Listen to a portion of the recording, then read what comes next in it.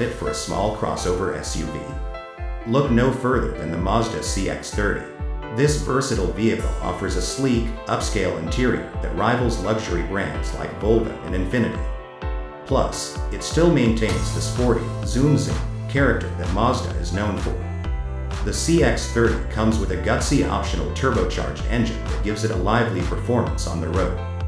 It also has excellent handling, making it a joy to drive. Overall, the CX-30 outclasses its competitors, such as the Chevrolet Trailblazer and the Kia Seltos, with its well-rounded package.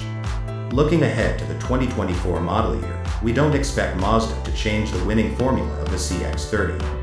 While they may shuffle some options between trim levels or add new optional extras, we don't foresee any major changes. And why mess with a good thing? For those in Indonesia, the CX-30 is expected to launch in October 2023.